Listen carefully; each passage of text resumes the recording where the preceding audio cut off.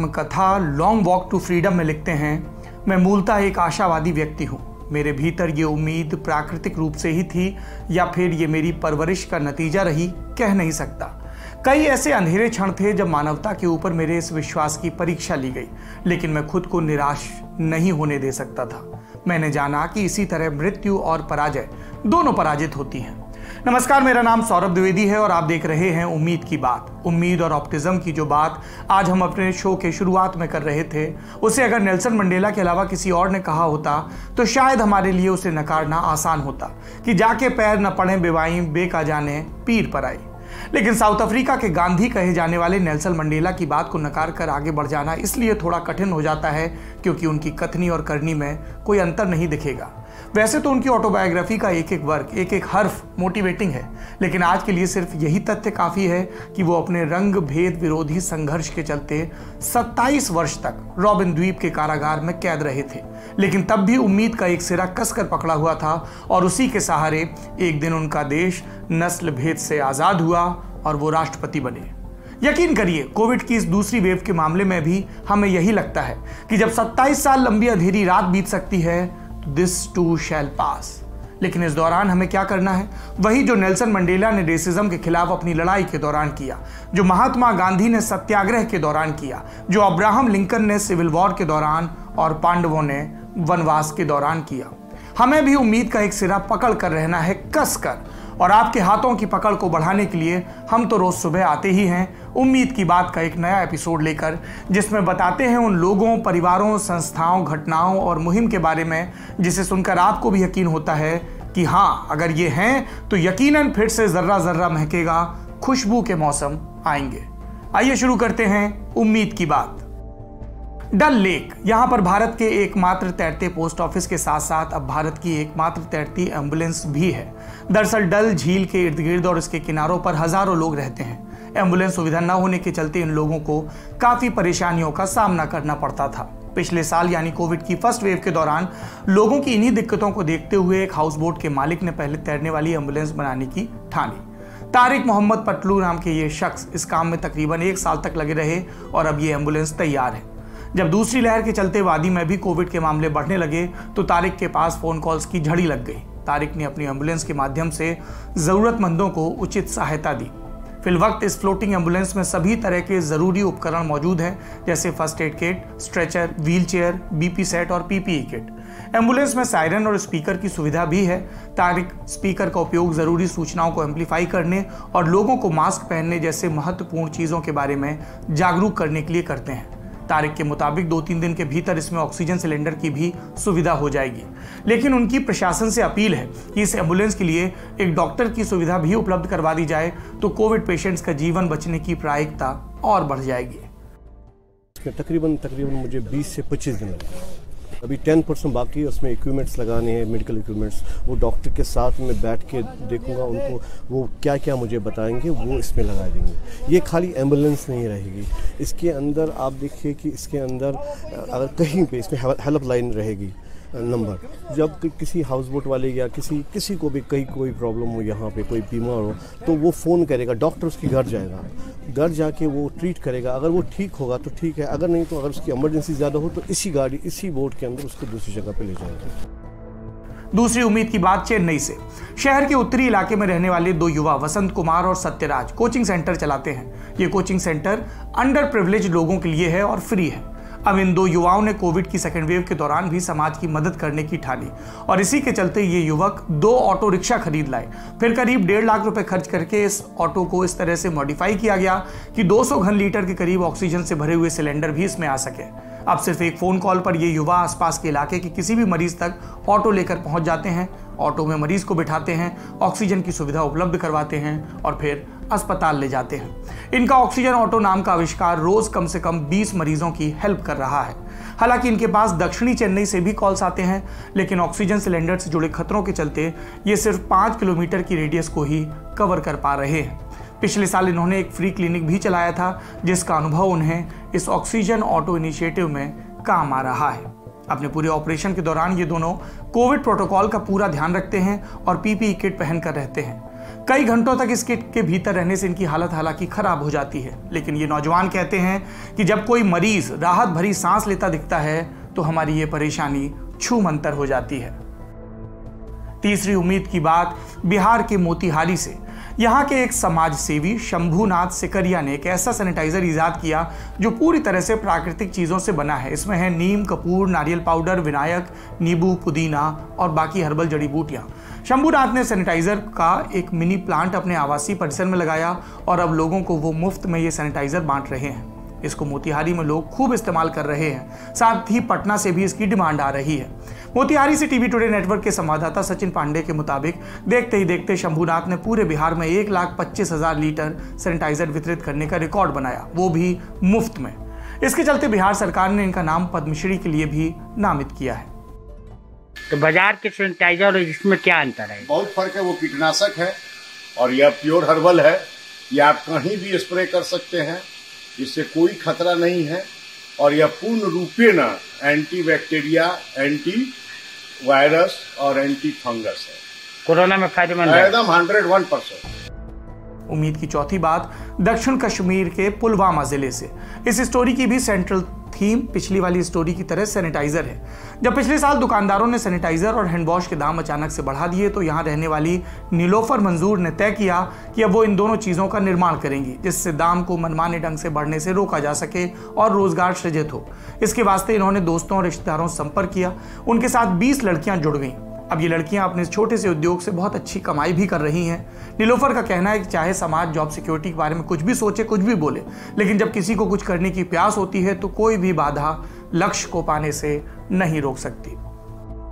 पे हम बना रहे हैं डिश वॉश जल हैंड सैनिटाइज ये हैंड वॉश और बाथरूम क्लीनर हार्पिक बट ज़्यादातर डिमांड आज इस पैंडेमिक डेज़ में हैंड हैंड सैनिटाइजर की है हैंड वॉश की है, जो कि हमें इतना प्रोवाइड नहीं है अवेलेबल नहीं है अभी। इसकी ज़्यादा डिमांड आ रही है बट इतना अवेलेबल नहीं है। अगर गवर्नमेंट सपोर्ट करती तो हम ज़्यादा ही इस पे काम करते। बट अनफॉर्चुनेटली इतना नहीं है यहाँ पे। सपोर्ट मिल रहा है, लेकिन इतना नहीं कि हम बहुत आगे पांचवी स्टोरी हमें मिली इंडिया टुडे के वेब पोर्टल से। स्टोरी कोलकाता की है। यहाँ के पार्क स्ट्रीट में रहने वाली सुजाता अपने इलाके के कोरोना मरीजों को मुफ़्त में घर का शाकाहारी भोजन उपलब्ध करवा रही हैं। रोज 20 से 25 लोगों को भोजन उपलब्ध कराने वाली सुजाता से ज़रूरतमंद मरीज़ को 24 घंटे पहले संपर्क करना होता है। फ़ूड डिलीवरी का खर्च भी वो खुद उठाती हैं और इसके लिए ऊबर कनेक्ट या स्विगी जीनी का सहारा लेती हैं। सुजाता के पति जीतू रामपुरिया और उनके माता पिता श्री प्रकाश चौधरी और सरिता चौधरी भी इस पहल में उनकी मदद कह रहे, कर रहे हैं। सुजाता कहती है कि जब कोविड 19 रोगी उन्हें थैंक्स कहते हैं तो दिन बन जाता है और थकान के बावजूद अच्छी नींद आती है। अगली उम्मीद की बात, उड़ीसा की राजधानी भुवनेश्वर से। हॉस्पिटल की अनुपलब्धता का यहाँ भी वही हाल है जो पूरे देश में। एसिम्टोमेटिक और हल्के लक्षणों वाले कोरोना मरीजों को प्रशासन होम आइसोलेशन की सलाह दे रहा है। यूँ परिवार कोरोना मरीज़ की घर पर अच्छे से देखभाल भी कर पा रहे हैं, लेकिन कुछ घर ऐसे हैं जहाँ सारे के सारे परिवार के जन कोरोना ग्रस्त हैं और ये लोग बाहर जाकर भोजन, सब्ज़ी, राशन नहीं खरीद सकते। ऐसे में कई बार भूखे रहना पड़ता है। और इसी को देखते हुए उड़ीसा के सतपाल सिंह ने एक एसओएस नोटिफिकेशन इशू किया और सारे सोशल मीडिया प्लेटफॉर्म पर शेयर कर दिया। इस नोटिफिकेशन में था एक व्हाट्सएप नंबर और सूचना की इस नंबर पर संपर्क करने से ज़रूरतमंद कोविड पेशेंट घर पर भोजन की होम डिलीवरी पा सकते हैं। सतपाल ने इसके वास्ते पंद्रह वॉलेंटियर्स की टीम बनाई, पाँच भोजन बनाते हैं, दस ज़रूरतमंदों तक डिलीवर करते हैं। 24 मार्च से शुरू हुई सेवा में पहले तो 20-25 डाइट्स के अनुरोध आते थे, लेकिन जब एक स्थानीय न्यूज़पेपर के माध्यम से व्हाट्सएप नंबर सर्कुलेट हुआ तो अब 500 से 600 पैकेट की डिमांड आने लगी, जिससे सतपाल की टीम डिलीवर भी कर रही है। सिर्फ़ भोजन नहीं oxygen cylinder pulse oximeter mask और कोविड से जुड़ी दूसरी स्वास्थ्य सुविधाओं तक भी ये मरीजों की पहुँच सुनिश्चित करा रहे हैं। अगली स्टोरी पर जाने से पहले सतपाल सिंह के बारे में एक बात और बता दें। वो ये कि इनके बेटे और ये हवन पाल सिंह, बेटे का नाम हवन पाल सिंह और ये ये पिछले तीन सालों से मजदूरों और गरीबों के लिए अपने घर पर लंगर का आयोजन भी कर रहे हैं। आज की आखिरी स्टोरी हमें मिली देश की राजधानी दिल्ली से। कुछ दिन पहले एक ट्वीट बहुत रिट्वीट हो रहा था 21 वीक की प्रेग्नेंट कोविड पेशेंट को ओ पॉजिटिव ब्लड ग्रुप वाले प्लाज्मा की ज़रूरत है। इस ट्वीट को पढ़कर दिल्ली पुलिस की जीवन रक्षक पहल के तहत काम करने वाली टीम ने ट्वीट में उपलब्ध नंबर पर संपर्क किया। जानकारी वेरीफाई करने के बाद जीवन रक्षक टीम ने उत्तरी ज़िले के पुलिस स्टेशन रूपनगर में तैनात एसआई आकाशदीप से संपर्क किया। कोरोना सर्वाइवर आकाशदीप का ब्लड ग्रुप ओ पॉजिटिव था। उन्होंने तुरंत प्लाज्मा दान देने की अपनी इच्छा जताई और जीवन रक्षक ने जैसा निर्देश दिया था, प्लाज्मा डोनेट करने के लिए तय दिन और तय समय पर आईएलबीएस हॉस्पिटल पहुँच गए। प्लाज्मा दान करने के बाद उन्होंने गर्भवती महिला और पेट में पल रहे बच्चे के अच्छे स्वास्थ्य की कामना की और फिर ड्यूटी पर निकल गए। गर्भवती महिला के पति ने बताया कि पिछले कुछ दिनों में कई दानकर्ता हॉस्पिटल पहुँचे, लेकिन हर दानकर्ता में कुछ ना कुछ ऐसी कमी रह जा रही थी कि घंटों बीत जाने के बावजूद प्लाज्मा का इंतज़ाम नहीं हो रहा था। उन्होंने उम्मीद खो दी थी, लेकिन दिल्ली पुलिस के एसआई ने इस उम्मीद को पूरा कर दिया। लल्लन टॉप आखिरी में से हर आकाशदीप हर सतपाल, हर सुजाता और हर तारिक को नमन करता है, जो किसी न किसी रूप में मनुष्यता के लिए उम्मीद की बात बनते आ रहे हैं। और आखिरी में उम्मीद का संदेश। इसमें आज सुनते हैं महक को। महक अपने कॉलेज के साथियों के साथ मिलकर गैर लाभकारी संगठन हार्वर्ड स्माइल्स चलाती हैं। ये संगठन कोरोना महामारी के दौरान लोगों को मास्क और सैनिटाइजर जैसी आवश्यक आपूर्ति दिलवाने में मदद करता है। इसके अलावा ये लोग फगवाड़ा शहर के आसपास कम विकसित विकसित क्षेत्रों में कोरोना के बारे में लोगों को जागरूक करने का काम भी कर रहे हैं। अब हम लोगों ने एक कंपेन चलाया है जिसके अंदर हम लोग अवेयर करते हैं लोगों को जो कि लेस एजुकेटेड हैं पुअर हैं। कि ये कि अपने आप को कैसे बचाव करना है, अगर उनको मास्क चाहिए, हम लोग प्रोवाइड करवा रहे हैं।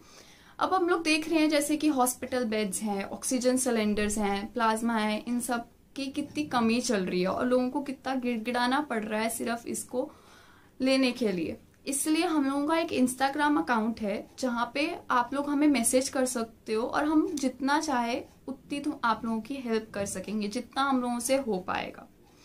अब हम लोगों ने ये भी देखा कि लोग कैसे अपने आप को घर के अंदर रख रहे हैं, काम कम कर रहे हैं, लेकिन कुछ लोगों का रोज़गार भी छिन चुका है।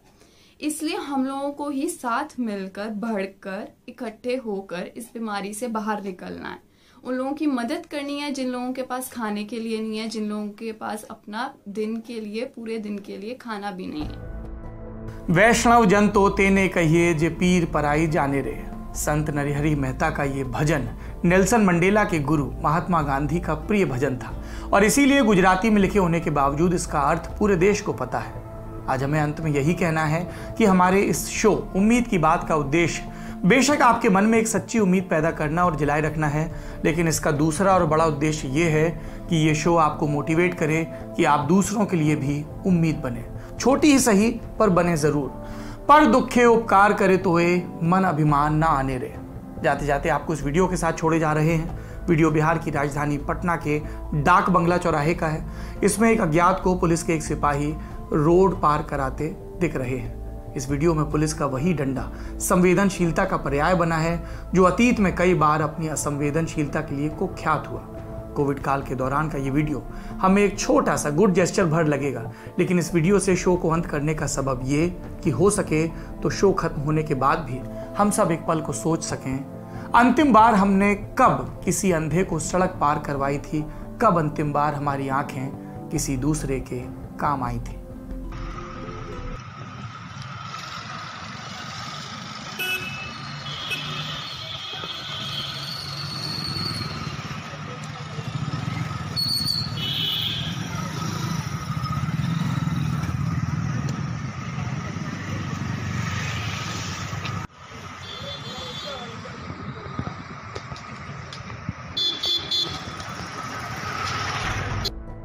आज के लिए इतना ही। कल फिर मिलेंगे, ये उम्मीद है। तब तक आप अपनी उम्मीदों के परों में परवाज बनाए रखें। दूर तक जाना है। आपका दिन उम्मीद से भरा हो।